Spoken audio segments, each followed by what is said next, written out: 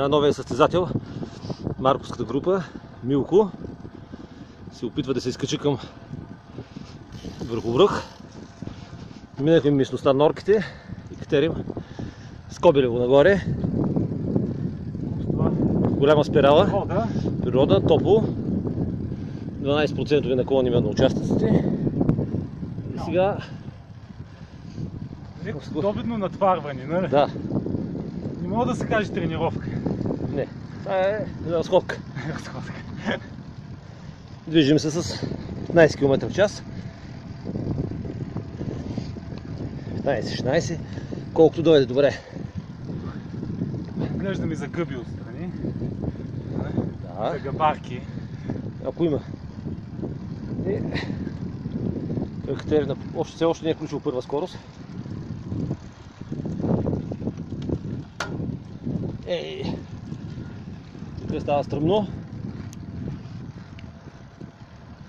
Ху!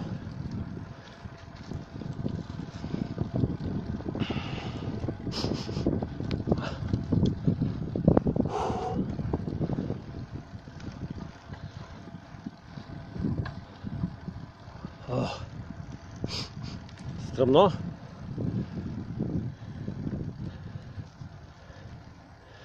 Надолу се намира перовщица.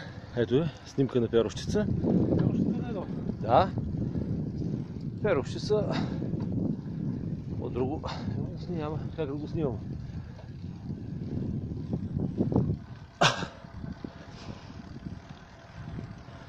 Добре. Добре се движим. Каза 14-15 км. Да, да, толкова. Изкачване. 22 км изкачване. Кев голям. Само да няма батерия телефона. И памет. Аз съм го правил тук, но не, не HD. Сега не HD. Сега друго изкачване не HD.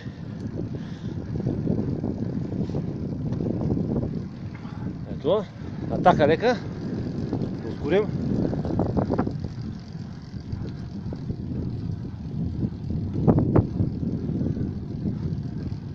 Не. Ако ме видят аз как се напъвам нагоре, си помислят хората, че ти си с мотор. Те са ме виждали. Излизам с мотор. Нека да покажа. Ето ме мен. Тук падна темпото. Но това е временно заради височината.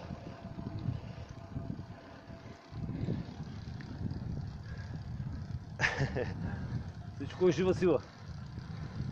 После на кръшмата съм най-силен.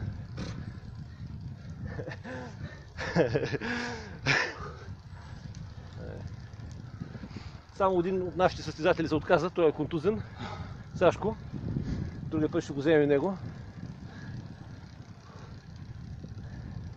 Така че пада. имаме още около час изкачване Оле. до Скобелево, там още половин. Час и половина още.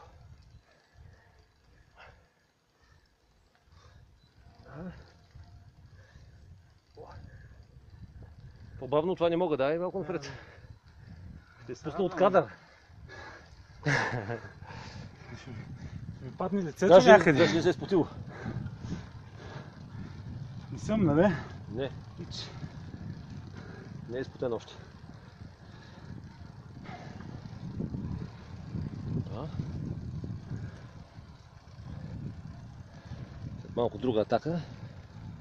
В момента е към 80 оборота в минута. Върти, каданса е приличен. Много живописно местността. Ще си се качим на 1500 метра. Има хижа, ресторант, заведение и много добро настроение. Се очаква след около час, час и половина.